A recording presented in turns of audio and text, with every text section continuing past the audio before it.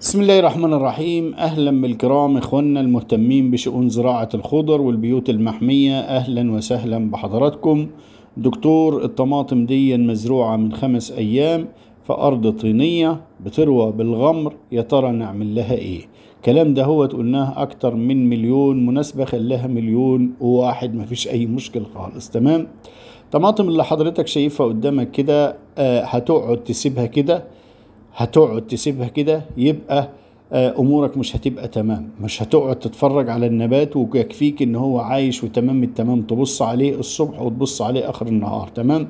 الكلام ده ما ينفعش. طالما حطيت نبات في الأرض يبقى لازم تشتغل خدام للنبات اللي أنت زرعه دهوت علشان تطلع منه بنتيجة.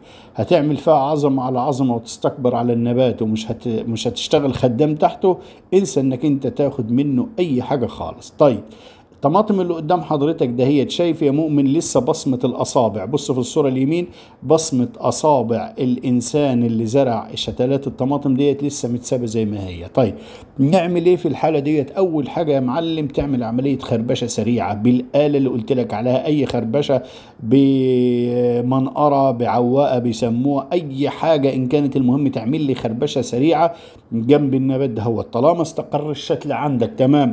وكسب الكاسبون وخسر الخاسرون. هتعمل يعني إيه كسب الكاسبون وخسر الخاسرون؟ يعني النبات اللي, اللي اشتغل اشتغل واللي سقط منك وما نجحش في عملية الشتل هتحط بداله. بس قبل ما تحط بداله هتخربش لنا الأرض دي خربشة كويسة. ليه خربشة كويسة؟ زي ما قلت لك لو بصيت على النبات اللي على ناحية اليمين دوت هتلاقي بصمة الأصابع بتاع ال ال ال الراجل اللي زرع لسه موجودة. فده معنى كده إن هو كابس على النبات كابس على الجدر. ففيش تبادل غازاتي كويس ولا فيش تنفس كوي... تبادل غازي كويس ولا فيش تنفس كويس للجدر. يبقى لازم نعمل عملية خربشة عشان الجدر إيه؟ يشم الهواء شوية ويبدأ يشتغل معانا. تمام؟ ما ترويش. المهم تخربش شوية تمام؟ وأمورك طيبة. هتخربش النبات ده وخربشة كويس. بعد ما تخربش تتم عملية الخربشة هتدخل بأحماض أمينية حرة. تدخل بأحماض أمينية حرة ولو قدرت تدي يوم ويوم ترشها طبعا هي ما تكلفش حاجة. ملاليم لو لو مهما جبت لها مركب عالي في السعر بتاعه لأن الفدان مش هياخد أكتر من 100 150 ولا 100 رش ولا 100 لتر مية. تمام؟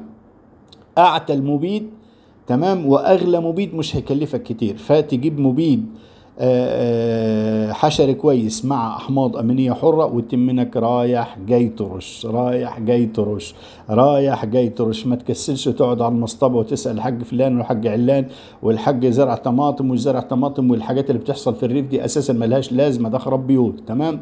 اصحى لنفسك واقعد في أرضك وحاول تشوف شغلك وتشوف حالك ورزقك ورزق عيالك كويس. أما هتسيبها انسى يا زين والله ما انت واخد حاجة. تمام؟ فزي ما قلنا خربش كويس بعد كده تبدا حضرتك آه تجيب الأحماض الأمينية الحرة بنقول للمرة المليون مع مبيد حشري محترم فيروس ريدي لمباده آه سايباميثرين تجيب وترش لك رشة محترمة علشان لو في هموشة في ذبابة بيضة في طبعا مش هتفضل على المبيد ده انت هتجيب مبيدات غالية طبعا تمام؟ عشان تعمل لها برنامج والبرنامج ذكرناه 100 مرة على بنورة زراعية تمام يا معلم؟ آه وبعد ما تعمل الحركة دهيت في طبعا أنت لو حاطط الخدمة بتاعتك تحت النبات وخادم الأرض كويس وما أظنش يعني آه خلاص كده. لو مش خادم الأرض كويس هتجيب لك شوية سوبر فوسفات ومع شوية آه سمات كتكوت وهتحط جنب النبات مش آه جنب النبات يعني على الخط نفسه تمام؟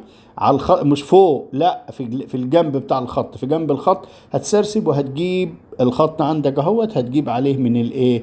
من الناحية التانية آه تجيب من الناحية المصطبة اللي قدام هتجيب آه منها وتحط جنب النبات لحد ما يفضل النبات عندك في النص. تمام؟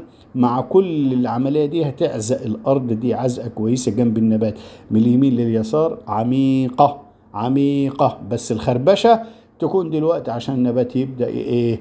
يشتغل تمام؟ بعد كده عملية الترقيع أي حاجة سقطت تلحق تحط غيرها وإن شاء الله أمورك تكون كويسة وتكون تمام وتطلع بنتيجة كويسة. شكرا لحضراتكم والسلام عليكم ورحمة الله تعالى وبركاته.